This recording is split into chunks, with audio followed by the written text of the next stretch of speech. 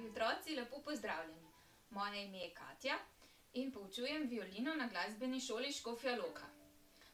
danes vam bom predstavila tale čudoviti inštrument, ki ga držim v rokah in ki je tudi zazvenel v uvodnem posnetku Vivaldijeva pomlad. violina spada v družino godal. to so inštrumenti, ki so narejeni iz lesa in imajo svojo značilno obliko. poleg violine tja spada še viola, violončelo in kontrabas. Vsi so večji od violine. tako da lahko bi rekli, da so to njeni starejši sestre in bratje. pa si, pa si poglejmo glavne dele violine.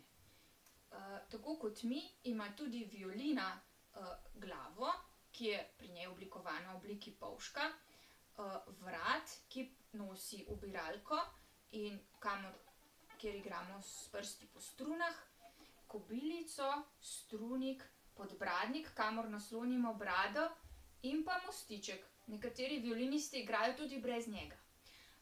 poleg tega ima violina štiri strune. Pa jih kar poslušajmo, kako zveni, če zaigram po vseh štirih.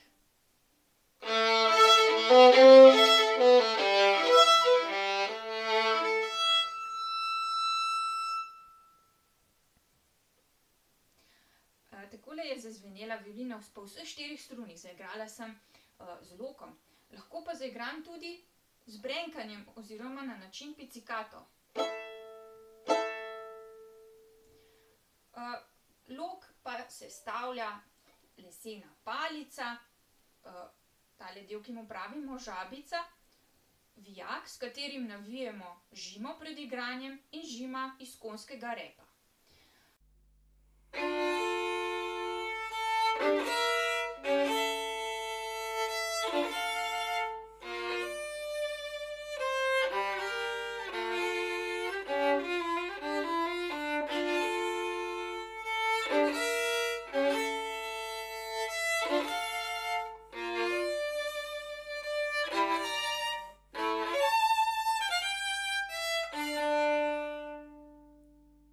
Pozdravljeni, jaz sem Katarina in tudi jaz učim violino. Violina ima poleg štirih strun tudi nekaj zelo posebnega. Ima dušo, ki ji daje njen značilni, čudoviti zvok. Ta tudi najbolj spominja na človeški glas. Lahko zveni veselo.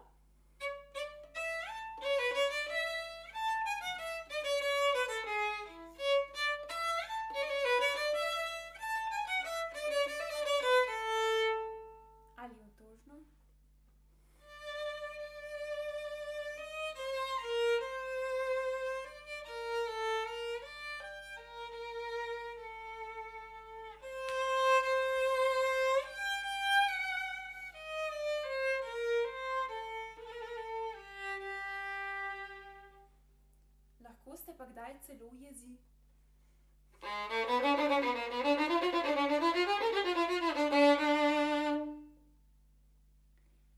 Poleg človeških lahko violina oponaša tudi zvoke iz narave. Kot ste slišali na začetku, na primer v skladbi Pomlad Antonija Vivaldija. Tam oponaša skladatelj ptičke in žvrgolenje in žuborenje rek in veter. Sedaj bi vam pa rada zaigrala začetek koncerta, ki mi je zelo pri srcu.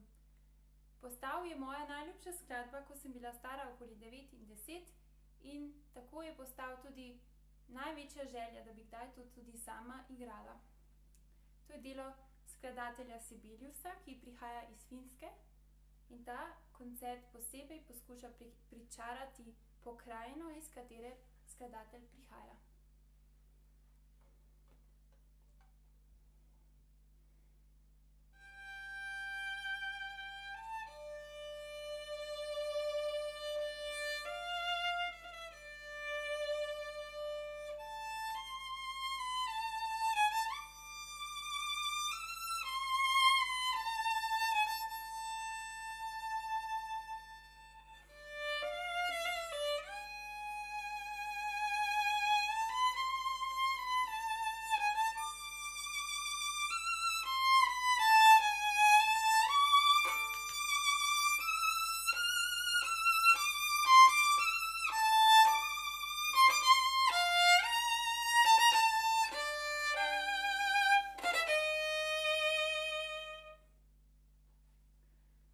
Violino igram že skoraj dvajset let, pa mi ni bilo niti enkrat dolgčas, ko sem jo igrala. Vedno je nekaj novega, kar se lahko naučim, nove skladbe, ki jih še ne znam, in ideje, ki jih tako rada prenašam na mlade glasbenike, ki so šele na začetku svoje poti.